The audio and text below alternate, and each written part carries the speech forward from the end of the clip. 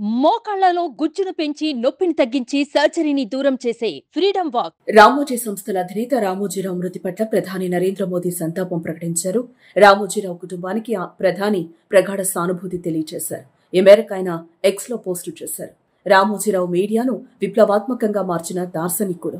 పాత్రికేయ సినీ రంగంపై చెరగని ముద్ర వేశారు. మీడియాలో సరికొత్త ప్రమాణాలు నెలకొల్పారు. ఆయన ఎప్పుడూ దేశ అభివృద్ధి కోసమే ఆలోచించేవారు అని ప్రధాని పోస్ట్లో పేర్కొన్నారు.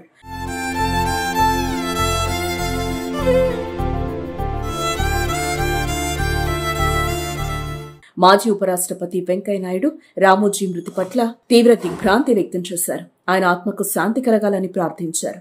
ఆయన కుటుంబ సభ్యులకు తన ప్రగాఢ సానుభూతిని వెల్లడించారు. రామోజీరావు అంటే క్రమశిక్షణ సమయపాలన నిబద్ధత అని అడుగుపెట్టిన అన్ని రంగాల్లో సరికొత్త ఒరవడి సృష్టించారని కొనియాడారు.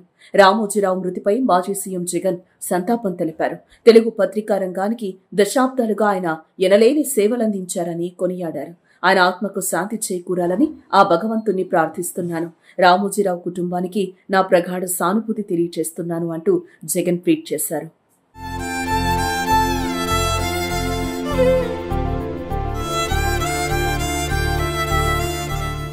సుమన్ టీవీలో మీ పర్సనల్ అండ్ బిజినెస్ ప్రమోషన్స్ కోసం కింది నెంబర్కి కాంటాక్ట్ చేయండి.